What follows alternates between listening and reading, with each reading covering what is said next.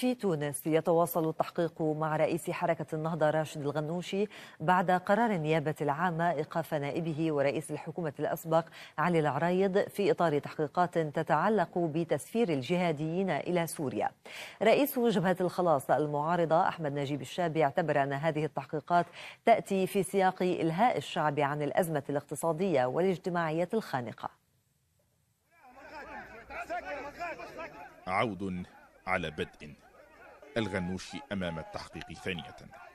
سبقه إلى هنا نائبه في حركة النهضة للعريض الذي قضي بإيقافه بعد تحقيق جاوز 12 ساعة.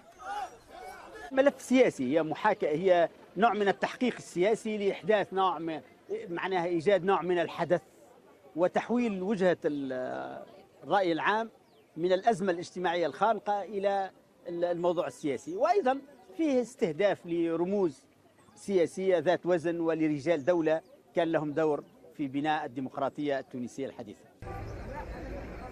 تلك قراءة الحركة للقضية ولسائر ما يستهدفها من ملاحقات ثمة ما يستدعي التغطية على أزمة اقتصادية واجتماعية متفاقمة. يتحقق ذلك باستهداف الصف الأول من معارضي الرئيس. جبهة الخلاص الوطني تزيد على ذلك بالقول إن هناك إرادة لخنق الأصوات المعارضة. اليوم تتجلى هذه الإرادة في التتبعات التي تقع والتي تستهدف رجال ونساء الخط الأول والمسؤولين الأول. هذا لن يزيد الأزمة السياسية إلا احتداد وهذا لن يشفع لقيس سعيد لأن الأزمة الاجتماعية تلاحقه إلى جانب الأزمة السياسية. وحبل الباطل قصير مهما طال. تضييق ممنهج على الحريات وتضييق على آليات الترشح للانتخابات النيابية المقبلة واستهداف لخصوم الرئيس. تلك وجهة نظر المعارضة. عناصره تشكل بالإضافة إلى الأزمة الاقتصادية وتبعاتها الاجتماعية. مشهدا معلوم التفاصيل ومجهول المآلات. ثمة في تكرار استهداف النهضة. ما يشفي نزعة. لا لإدانة النهضة وحدها بل لإدانة تجربة ما بعد الثورة ولأن القضاء وحده سيعلم إن كانت النهضة وقياداتها مذنبة فيما نسب إليها أو بريئة فإن مآل هذه القضية وغيرها قد يضعف الحركة أو ربما يرد إليها الاعتبار. خليل كلاعي العربي تونس. يبقى معنا خليل كلاعي مراسلنا من تونس.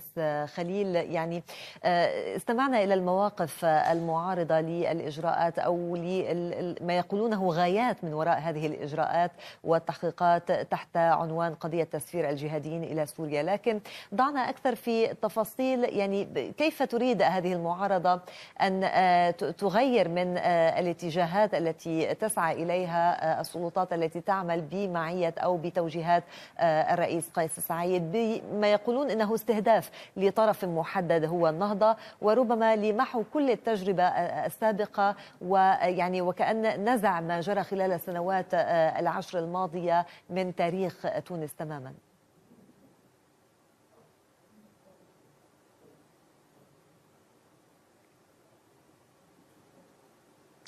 نجلاء من وجهة نظر المعارضة فإنه هناك مساران أساسا تنتهجهما السلطة ويستشف من هذين المسارين إرادة وفق ما تفهمه المعارضة على الأقل إرادة من قبل السلطة لمحو كل كل السابق كل ما سبق تاريخ ال 25 من يوليو للعام 2021 أو ربما كل ما أعقب الثورة من بناء ومن تراكمات هذان المساران هما يتلخصان في نسف كل المؤسسات المنبثقة عن دستور العام 2014 الدستور التونسي للجمهورية الثانية وهو الدستور الذي كتبه المجلس التأسيسي وهو أول مجلس منتخب بعد الثورة.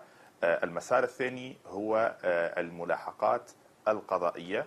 في قضايا مختلفة لحركة النهضة في ملفات هي بالأساس ملفات أمنية. هناك قضية أنستالينجو قضية اغتيال السياسيين شكري بالعيد ومحمد الابراهيمي هناك قضية جمعية نماء والقضية الأخيرة قضية التسفير إلى بؤر التوتر. في الحقيقة عدد من هذه القضايا ليست جديدة. النهضة كانت متهمة في هذه القضايا على الأقل في جانبها السياسي منذ سنوات. لكن التحقيقات القضائية على الأقل خلال السنوات الماضية التي سبقت تاريخ ال 25 من يوليو 2021 لم تثبت أي علاقة واضحة متينة يمكن البناء عليها جزائيا.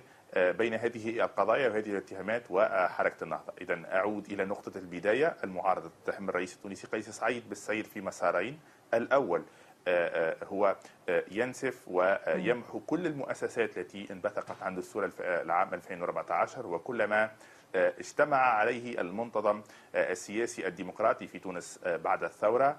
ومسار آخر يستهدف حركة النهضة رأسا من خلال اتهامها إما بالفساد المالي أو بضلوعها إما في الإرهاب أو بتسفير إرهابيين أو بتسيير شبكات تضر الأمن القومي التونسي أقصد شبكات على وسائل التواصل الاجتماعي وذلك ينطبق على قضية انستالينغو لنلخص هذه الفكرة فان المعارضه تدعو الرئيس التونسي قيس سعيد إلى العودة إلى الحوار الوطني نعم. وللتوقف نعم. عن الذهاب في هذين المسارين خاصة ان الأزمة الاقتصادية والاجتماعية مم. أصبحت خانقة وتهدد بنسف كل مكتسبات الدولة الحديثة من وجهة نظر نعم. المعارضة. خليل كلاعي مراسلنا من تونس شكرا جزيلا لك.